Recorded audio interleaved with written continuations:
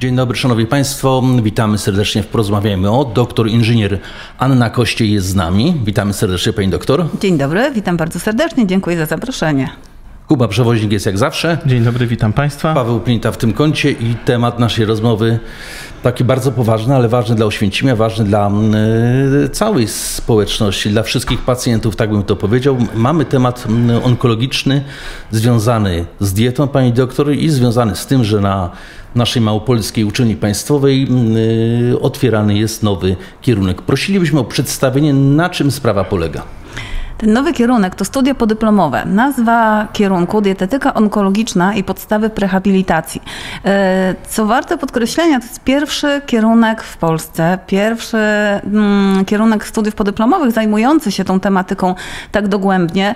E, Małopolska Uczelnia Państwowa, mm, Instytut Nauk o Zdrowiu, w którym mam przyjemność pracować, stara się zawsze tutaj e, przekazywać najbardziej aktualną, najnowszą wiedzę i to też był taki impuls do utworzenia tego kierunku potrzeby rynku. No i, no i właśnie, bo tutaj jesteśmy w odcinku. Y, temat zaproponował nasz gość jak również Małopolska Uczelnia Państwowa. Mamy taką, taki zwyczaj, zapraszamy Państwa do współredagowania tej tutaj audycji. I proszę mi powiedzieć, może dla kogo, dla kogo będzie to kierunek studia podyplomowe, więc jak rozumiem, to już jakimś papierkiem trzeba się legitymować, ale czy to może być, no nie wiem, policjant z dyplomem, czy jednak pielęgniarka?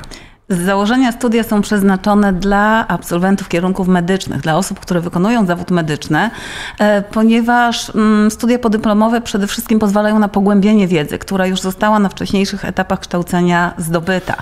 Zatem no jednak te zawody medyczne znowu tutaj mi się nie zapraszamy. Udało, znowu mi się nie udało. Ale, ale i, proszę mi powiedzieć, pani doktor, skąd, pani profesor, skąd ta tematyka, skąd potrzeba uruchomienia takiego, takiej specjalizacji? Skąd skąd się to bierze?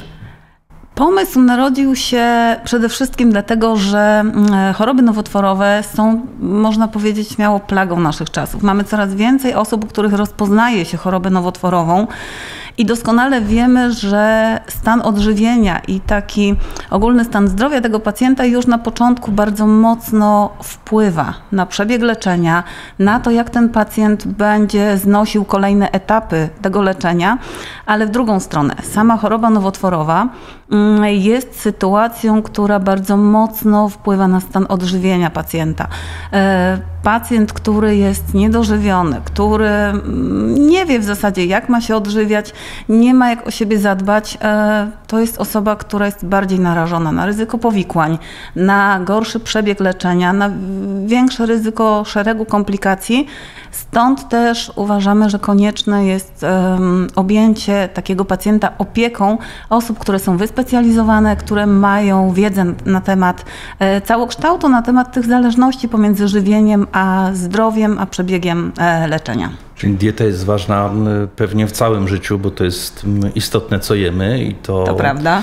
A w przypadku choroby jest to jeszcze ważniejsze, bo od tego zależy, czy często, czy terapia działa, czy organizm jest mocniejszy, czy my sami jako osoba chora czujemy się, czujemy się lepiej. Krótko mówiąc, chodzi o to, żeby pomóc człowiekowi wrócić do, szybciej do zdrowia. Zgadza się, dokładnie to chcemy osiągnąć. Zależy nam na tym, żeby ten pacjent był obejmowany kompleksową opieką, opieką osób e, wyspecjalizowanych o kompetencjach, które pozwalają na zapewnienie naprawdę wysokiej jakości opieki, e, bo tak jak Pan tutaj zauważył, dieta jest bardzo ważnym elementem. Ten pacjent musi być dobrze odżywiony, żeby miał siłę walczyć z tą chorobą.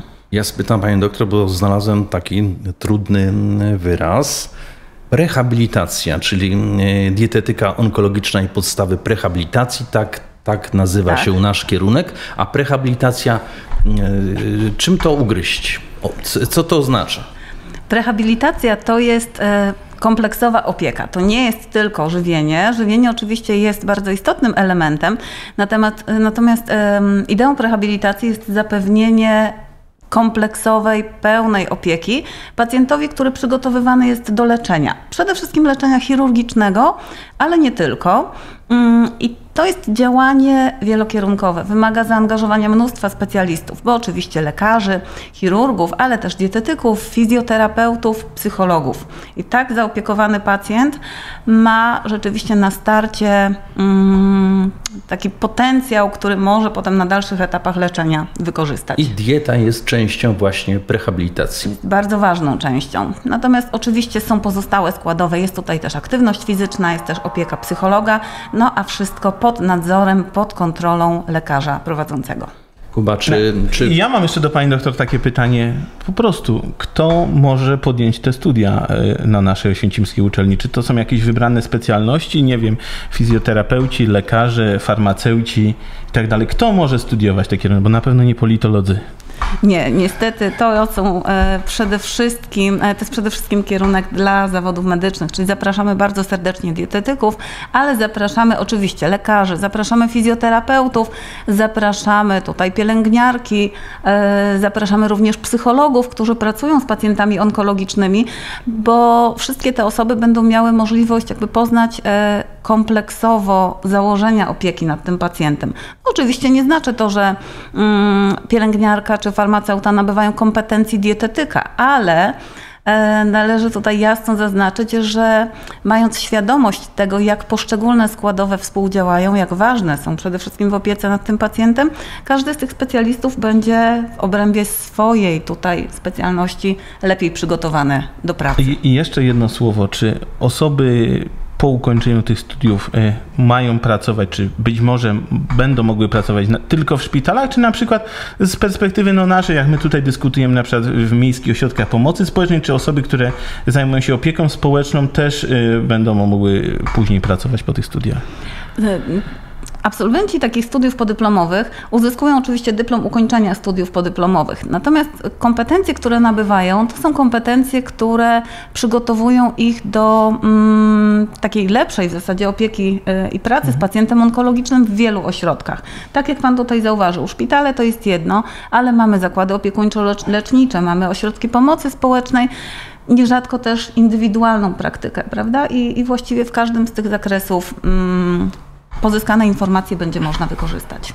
Mnie cieszy, że Małopolska Uczelnia Państwowa, niegdyś Państwowa Wyższa Szkoła Zawodowa w Oświęcimiu poszerza się o kolejne możliwości, kolejnych ludzi, kolejne kadry.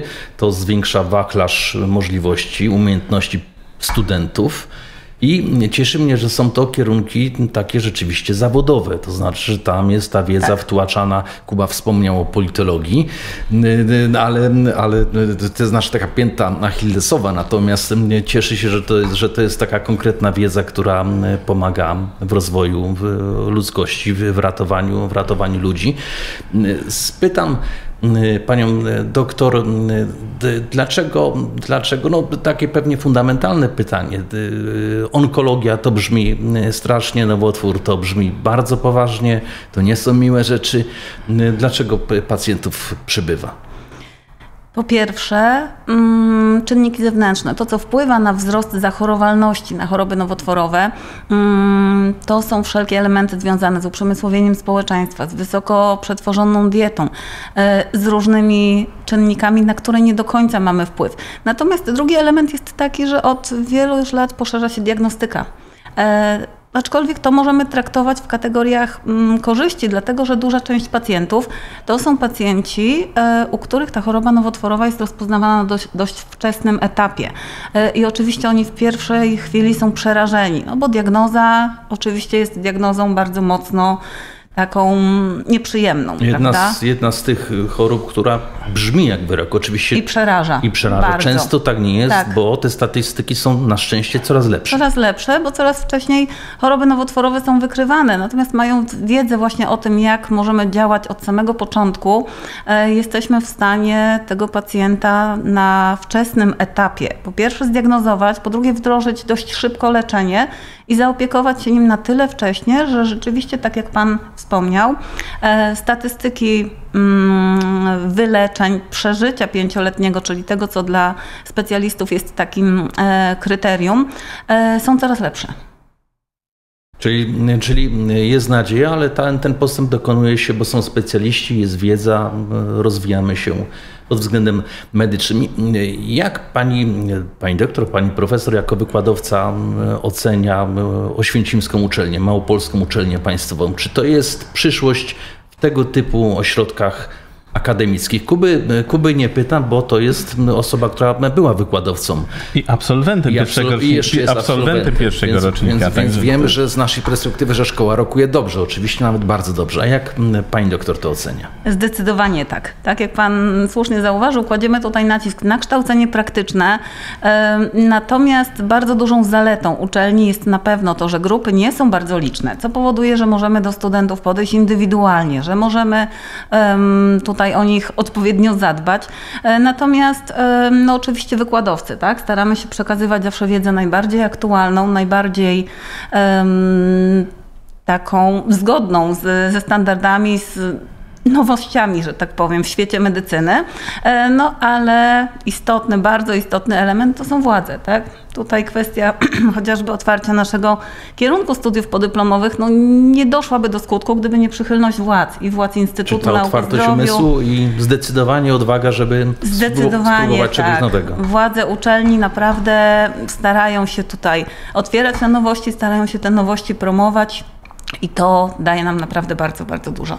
No cieszymy się też z perspektywy mieszkańców Oświęcimia, radnych, jak Kuba na przykład, że, że Małopolska Uczelnia Państwowa też ma coraz lepszą bazę, bo no stosunkowo niedawno otwieraliśmy to kolejne, kolejne skrzydło jak to wygląda w tym momencie? Czy już wszystko wyposażone? Czy laboratoria i inne y, specjalne sprzęty już, już... Dla dietetyki na pewno jakieś specjalne laboratoria. No, tak to wyobrażam. No, nie wiem, no piecy, kuchenka, tak mi się to kojarzy. Może pani doktor nam tu wy, wy, wyjaśni, co, jak, co jak to wygląda. Nie tylko piecy, kuchenka, bo dietetyka to oczywiście zajęcia takie praktyczne z przyrządzania rozmaitych posiłków też, ale e, cała baza stopniowo jest e, doposażana. Nie powiem, że już całkowicie całkowicie wyposażona, bo jeszcze na pewno znalazłoby się pole do mnóstwa różnych sprzętów, ale muszę przyznać, że Instytut Nauk o Zdrowiu bardzo mocno rzeczywiście zwraca uwagę też na jakość sprzętów, z których korzystamy.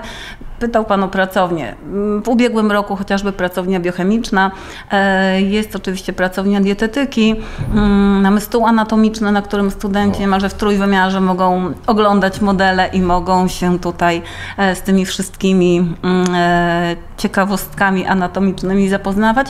No i taka perełka Centrum Symulacji Medycznej, w, której, w którym kształcą się studenci pielęgniarstwa. No i to powoduje, że nasi studenci rzeczywiście mają na naprawdę solidne podstawy. Naprawdę dobrą bazę, solidne podstawy i po ukończeniu e, studiów śmiało mogą wkraczać na rynek. A e, kogo się Pani spodziewa? Kto tutaj do Oświęcimia będzie przyjeżdżał na ten właśnie kierunek? Czy to będą osoby z Krakowa, z Katowic? Jak gdyby do kogo Państwo kierujecie swoją ofertę? Ofertę kierujemy w zasadzie do wszystkich chętnych. Bo Tutaj... w całej Polsce. Tak, się... to, mm, to są studia, o których informacje gdzieś tam staramy się przemycić w całej Polsce, natomiast zapraszam oczywiście wszystkich chętnych. E, zgłoszenia, które mamy, to są zgłoszenia też i spoza województwa małopolskiego w tym momencie, no więc liczymy, że tych kandydatów będzie, będzie przybywać z różnych rejonów. To z perspektywy takiego wiecznego studenta, bo zawsze mnie to interesuje. Panie doktorze, jak będą wyglądać te zajęcia? Stacjonarnie, onlineowo, hybrydowo, nie wiem, weekendy, wieczory, w tygodniu, po południu, no nie wiem. Pani doktor, proszę jakąś informację na ten temat. Zajęcia planowane są e, weekendowo. Mamy na stronie już e, podane informacje dotyczące terminów zjazdów. E, planowane są zajęcia w wersji hybrydowej, czyli część wykładów. Na pewno będzie odbywać się w formie zdalnej. Zajęcia praktyczne będą się odbywały stacjonarnie na terenie uczelni. Dzięki. Wieczny student Kuba powiedział, bo Kuba ma tylko trzy fakultety i jest tylko doktorem, ale politologii. politologii. Politologia, no, słowo klucz. Prze, prze, y, Pani doktor, to może te, takie podsumowanie, które pewnie zainteresuje więcej osób. Mam nadzieję, że wszyscy mm, jesteśmy zdrowi i będziemy jak najdłużej zdrowi. Ale jakie są takie podstawy, c- y, jak chcąc przestrzegać diety, przestrzegać jak to groźnie brzmi, ale jak chcąc stosować dietę, czego się, mm, czego się trzymać? My na hamburgera tylko raz w tygodniu wyskakujemy, więc ja myślę, że tutaj jesteśmy rozgrzeszeni. Jak, A w środę na kebab. A, no, no to już bez, bez szczegółów, ale to jak się uda? Jak, jakie są podstawy y, dobrej diety? Czego się w życiu trzymać pod tym względem? Jeżeli chodzi o kwestię profilaktyki nowotworów, to pewnie tutaj nie powiem nic odkrywczego. Zdrowa, urozmaicona, zbilansowana dieta. Nie ma diety, która oczywiście w 100% zagwarantuje, że nigdy nie zachorujemy, tak? Bo choroba nowotworowa e, to też jest choroba wieloczynnikowa. To nie jest tak, że tylko jeden czynnik powoduje, że na pewno zachorujemy, bądź na pewno nie zachorujemy. Natomiast oczywiście dietą możemy sobie bardzo dużo pomóc. E, Więc ta mm, dieta, która może zmniejszać ryzyko chorób nowotworowych, e, na pewno powinna być bogata w świeże warzywa i owoce, najlepiej różnokolorowe. Tak? Powinna być oparta o e, zasady zdrowej diety, urozmaiconej, bogatej w produkty nieprzetworzone, bogatej w węglowodany złożone, czyli jakieś ciemne pieczywo, ciemne makarony, mm, no i oczywiście w źródła dobrej jakości białka, Czyli na przykład chude mięso, nabiałe, mogą się tutaj pojawić, a nawet powinny się pojawić tłuste ryby, powinny się pojawiać źródła tłuszczów nienasyconych, orzechy, oliwa z oliwek, czy chociażby nasz olej rzepakowy. Mm, No i jak w każdym przypadku umiar, tak? Niewielkie odstępstwo od diety zapewne nie będzie stanowić jakiegoś dużego zagrożenia, byle nie było taką podstawą, tak? Czyli wszelkie produkty przetworzone, właśnie jakieś fast foody, żywność e, smażona, produkty grillowane, mm, ale i używki, o których trzeba wspomnieć, e, czyli papierosy, alkohol. E, to są czynniki, które zwiększają ryzyko chorób nowotworowych i te produkty powinny w naszej diecie pojawiać się bardzo rzadko. No, oczywiście okazjonalnie, e, jeżeli możemy, staramy się je z diety eliminować, Natomiast e, jako bazę potraktować taki, mm, takie zasady zdrowej diety. Panie doktorze, dziękujemy bardzo za ten wykład. Kuba, dziękuję za kolejne spotkanie, za mm, wsparcie. Oczywiście wszystkich Państwa zapraszamy na Małopolską Uczelnię Państwową. Zapraszamy. Zapraszamy serdecznie i żyjcie mm, zdrowo, dbajcie o zdrowie, żeby nie trzeba się było potem leczyć, a dobra dieta jest, jak mówi pani profesor, taką podstawą, która przyda się nam wszystkim. Dziękuję raz jeszcze, do zobaczenia. Do widzenia. Dziękujemy. Do widzenia.